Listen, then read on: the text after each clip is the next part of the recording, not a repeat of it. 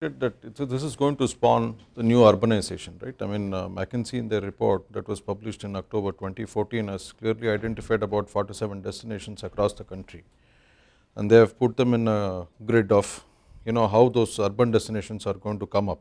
So this is possibly one of the first few destinations, but the important issue is that there should not be any flip flop on taxation and regulatory issues uh, as uh, you know basically uh, you know we have been discussing. Because we started off you know for instance when the SEZs were introduced the government uh, you know basically extended a host of uh, concessions tax concessions which again are yet to be sort of uh, sort of rolled back. Any affordable housing can can happen only if the quality of infrastructure uh, is in place. So typically it means that uh, access to quality public transport I mean, uh, whereby you know you have people who can commute between uh, the place of work and the place of residence in a relatively shorter time, and then access to healthcare, housing. So, if, I mean, essentially it means that for the affordable housing also to sort of materialize in the way that's envisaged by the government, uh, the issue is for the quality infrastructure to be created.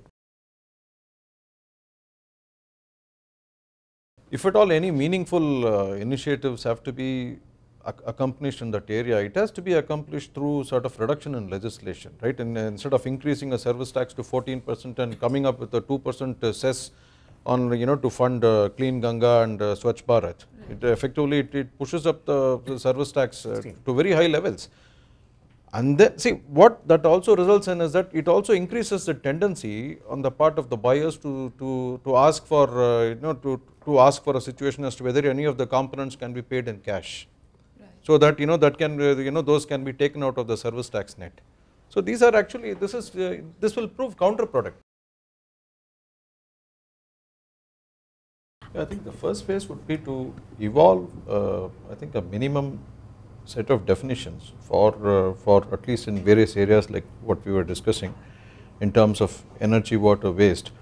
And of course, I think uh, public transport also is, in, uh, is, is, a very important area where resources are consumed. So these are areas where for instance, you know one can definitely bring down the demand on fuel as well. The important thing, step one I think is to evolve a set of metrics that will that can be used. I think this approach can uh, has to be inclusive uh, and I think the public and private have, have to coexist and each person has to work to the other person's strengths.